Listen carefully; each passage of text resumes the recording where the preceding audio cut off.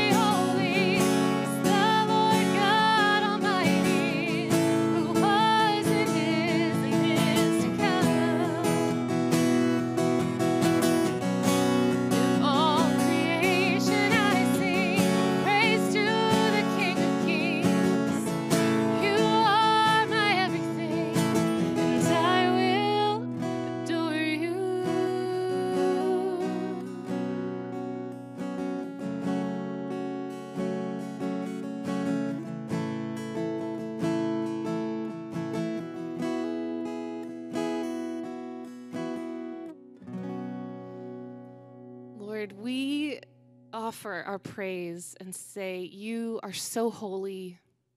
You are worthy. You're beyond our imaginations, beyond our understanding, and yet we try because who you are is so beautiful and wonderful and delightful. I pray we would see you in your creation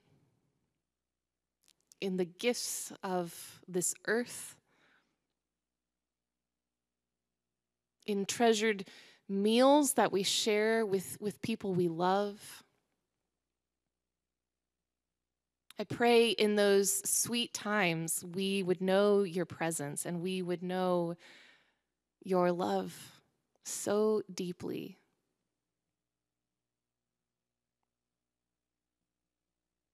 I lift up today those who are feeling tired and weary of the world, the grief that is ever present, the hurts that come. Whether that be fear or the unknown or loss of someone we love, a role that we had that we no longer share. Lord, I pray that you would send your comforter to intercede for us with groans that speak so much louder than words.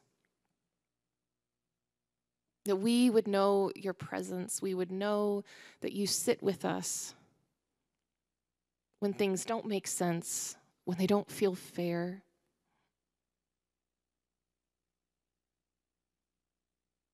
Let us know that you are with us through it all. I pray you would open our eyes and our ears and our hearts to your holy word today. That we could be ready to receive something through your spirit, through Pastor Shawn. You'd speak through him. You would connect us in such a way that your word lands squarely on our hearts in our minds, our whole beings. We love you, and it is in your holy name we pray. Amen. If you joined us last week, uh, you know I asked the question about favorite foods. We talked a little bit about the food that we particularly enjoy, whether it was a last meal or just something to celebrate, one of those kind of things. And in all of that sharing, I don't believe anybody said, I just like a salad. I don't think anybody went with a vegetable. Now, clearly there were some vegetables mentioned. I'm going to guess, you know, like corn tortillas in the tacos or maybe corn oil to brown the meatballs. I was, you know, I was a spaghetti meatball guy. But generally, I didn't hear anybody shout, I want Brussels sprouts for my last meal, right? And nothing like that why do vegetables get, get such a bad rap? We know they're good for us. We know that they're uh, important. They're packed with vitamins and nutrients, and, and they're part of a healthy diet. So, so why do vegetables get such a bad rap?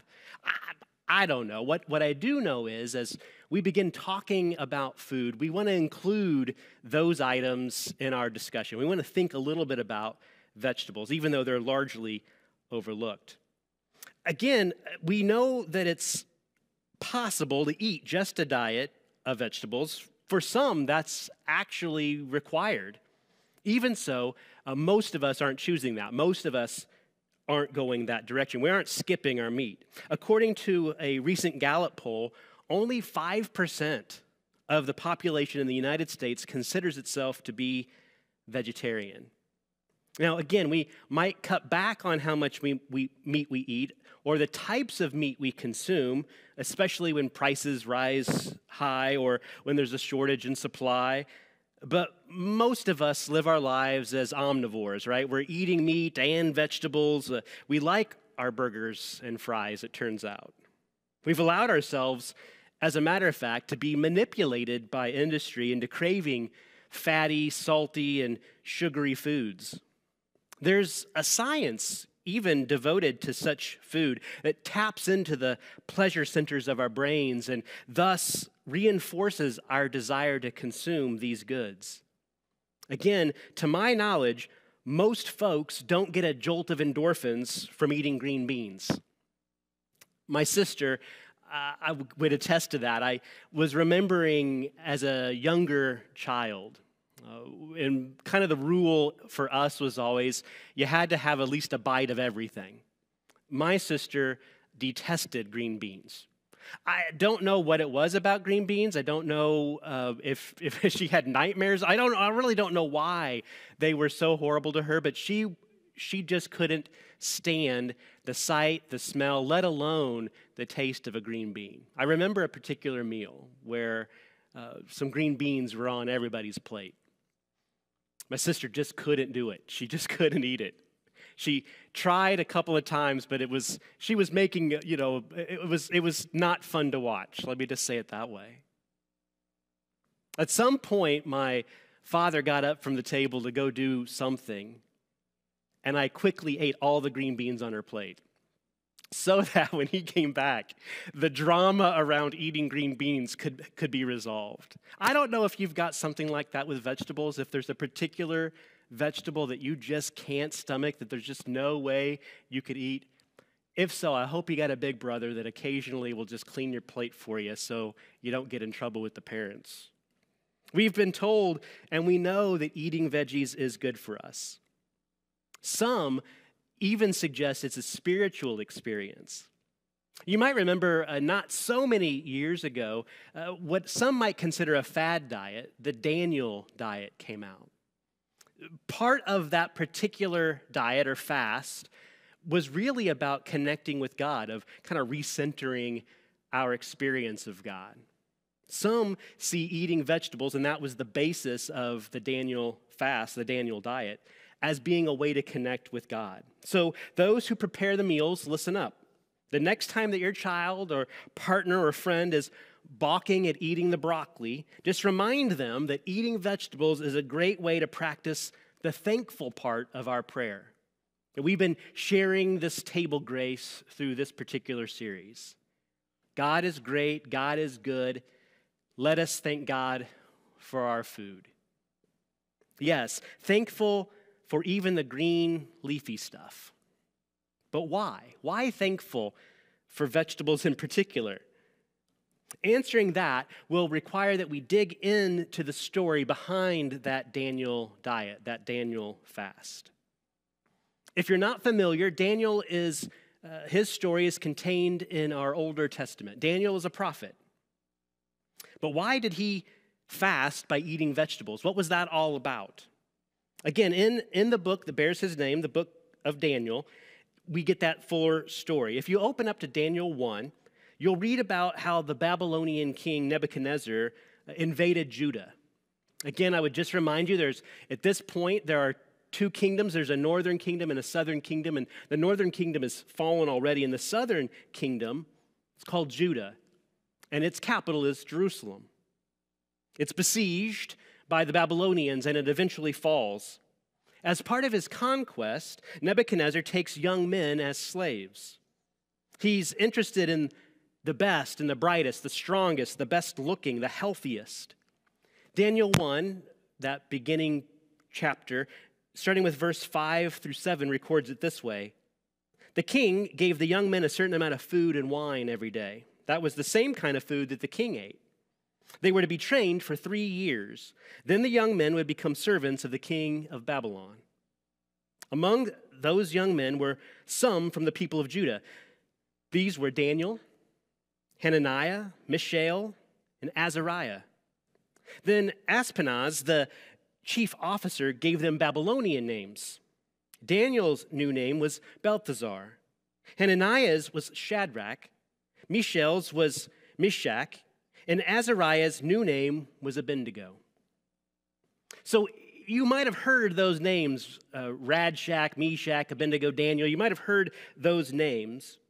Here we have Daniel captured and delivered as a slave to the king of Babylon. And they're given a certain diet. It's exactly what the king is eating. Again, they're going to be trained and they're going to be uh, everything poured into them so that they could be ideal servants for the king.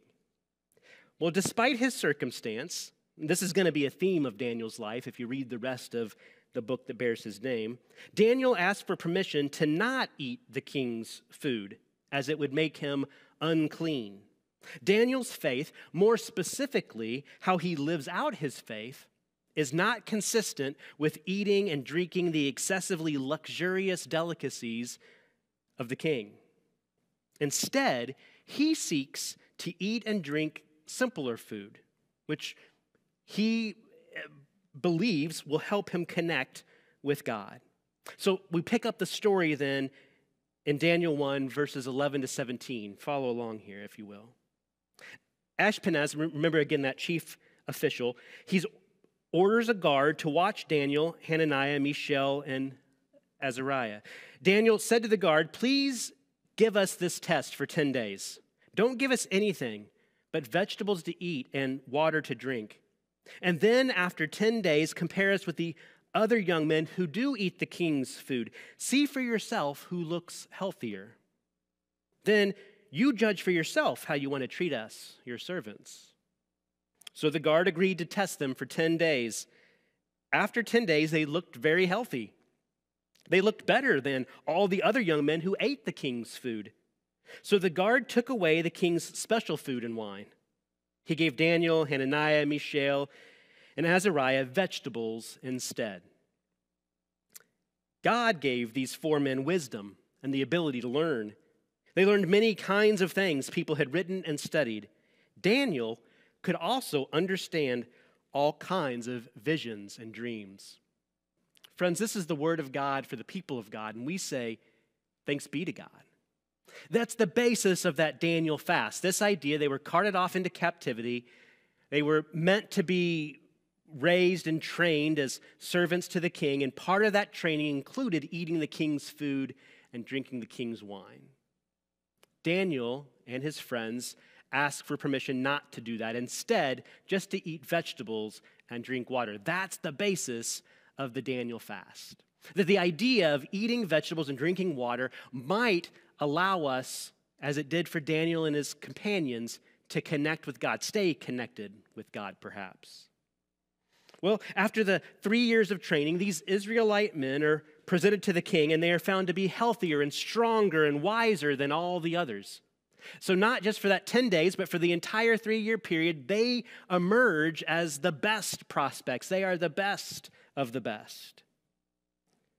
Faced, you see, with the choice of eating the king's indulgent diet or eating the simple food that God provided, they chose vegetables and water, and they became healthier and stronger and better. Again, some have turned that into a diet, and that's okay, but don't miss the bigger picture. The real point, I believe, is connecting with and remaining connected to God through our food, through what we eat, through what we drink. I'm led to believe this might taste more like lentils and less like lobster. Well, that's not the message, of course, we hear on television or read on the billboards. The world bombards us with things to eat and drink and clothes to wear and ways to make ourselves appear younger and healthier and happier, more desirable, more impressive. Simple is for simpletons, advertisers scream in our ears. You're so old, you need our cream. You're so unhappy, you need our burger. You're so lonely that you need our shoes to make you popular. So we buy into the messaging and we seek pleasure and escape. But what we need is sustenance. What we need is a connection with God. So instead of feasting on that which is empty, the perfect combination, as scientists have engineered it, of sweet and salty and fatty, or drinking what numbs us from experiencing the full range of our human emotions, our emotional selves, Daniel's example points us to what it can look like to practice physical, emotional, and spiritually healthy habits, especially related to food, especially by using food to connect us back to God. So when we pray, let us thank God for our food. We are doing more than merely saying thank you to God. We are, are, connect, are disconnected in our modern society from the sources of our food. We don't know where our food comes from. We don't know how it's been produced. We don't know the hands that have prepared it. We sometimes pray. We, we don't know the, the complete chain that has brought the food to us. And so when we say thank you, God, for our food, it's to pause, perhaps, to, to remember that we did not create this food, to perhaps be connected to those that helped bring the food to us. We remind ourselves that no matter who helps us receive our food, the family members, the chefs, the grocery store workers, farmers, just to name a few, that they're important in that process. We're reminded that Ultimately, though, it's all a gift from God. And when we choose to eat simply, or perhaps I should say it this way when we choose to eat mindfully, paying attention to what we eat, remembering where it comes from, or finding out where it has been sourced, recognizing the whole scope of what it is to have received this meal.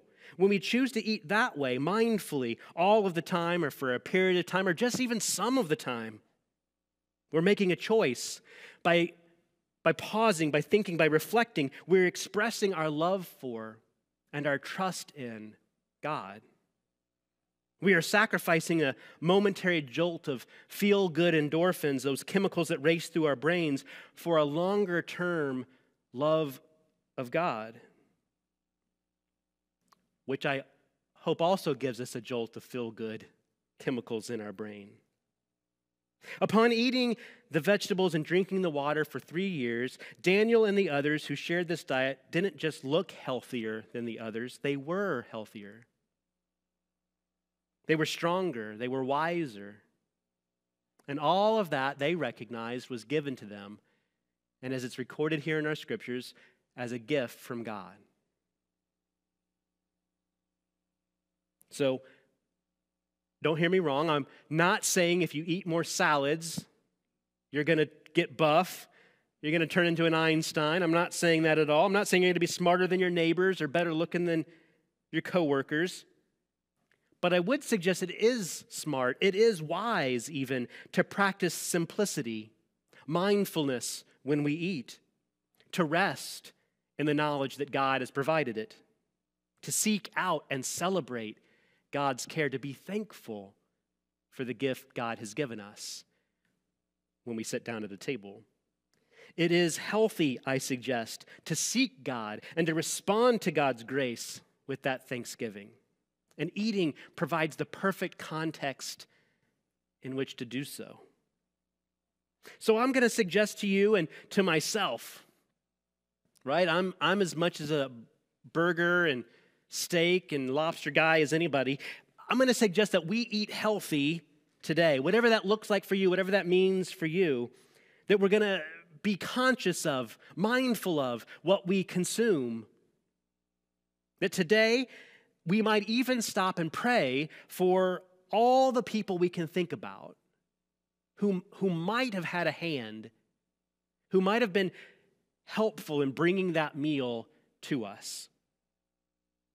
Especially, we want to pause and, and give thanks to God. If you feel so bold, skip the fries and go with the carrot sticks. Go meatless for a day or a week or more. Be more selective with what you eat and why you're eating it.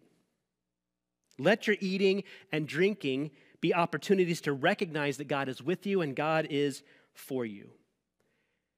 Again, don't hear me wrong. Don't be overly strict here. This isn't a fad, this isn't a diet. That's, that's not what I'm suggesting. What I'm talking about is how do we connect our relationship with God to the food we eat? How do we see God in what sustains us. So, again, don't be overly strict. That's not the point. It's not a punishment, but a rest, a reset. It's an opportunity to thank God for our food and to grow in our love for God as we offer our thanks. So let us pray. God, you are great and you are good, and we thank you for our food. We thank you for the hands that have prepared it, those that worked the ground and raised the animals, those that harvested and collected and delivered, those that shipped and packaged, and those that, that put it out in display, and those that made it available for us to purchase. We pray, God, that those that prepared that food in all the ways it has been prepared for our enjoyment, for our sustenance would be blessed. And ultimately, God, we thank you because we know it is your hand that has guided all of those hands. We know it is your presence that makes life possible. We know it is a gift from you, what grows from the ground. and it's been made good for us.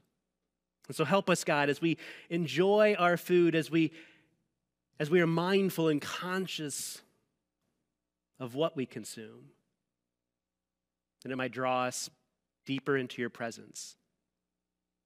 It's through your Son, Jesus Christ, and by the power of his Spirit that we pray it. Amen. Friends, we now have the opportunity to respond to this word by offering our gifts back to God, that they may be used for glory, for good. Um, and you're invited, there are different ways on your screen um, to share either with um, our North Cross app, through our website, playlearnshare.org, on our giving page, texting to give, or mailing your gift to the church. Um, I do pray this is an act of worship for you, that this is a time that uh, you would express the overflow um, of what God has done in your life, um, sharing with others.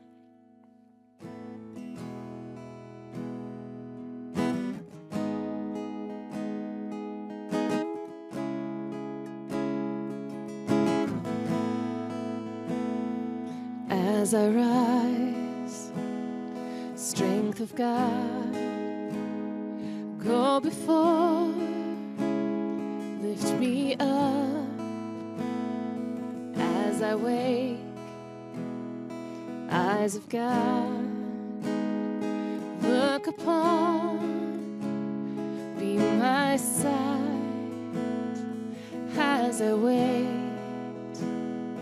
heart of God, satisfy and sustain as I hear voice of God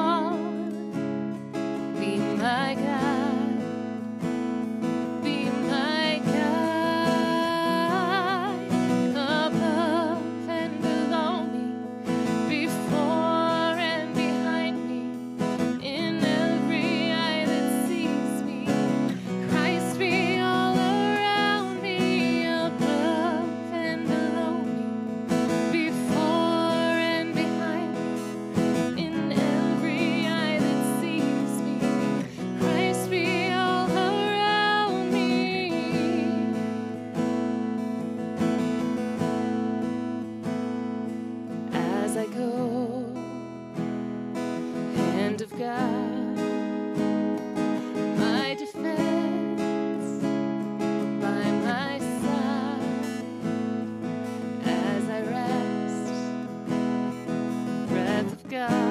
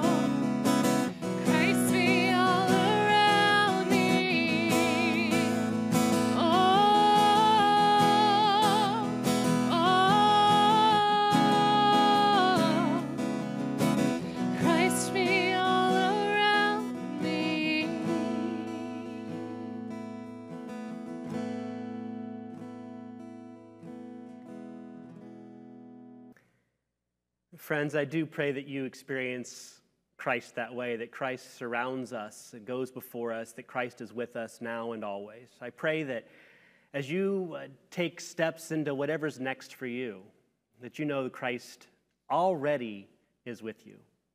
So, friends, as you go, please go with the strength and the peace and the power of Christ. Go in love. Amen.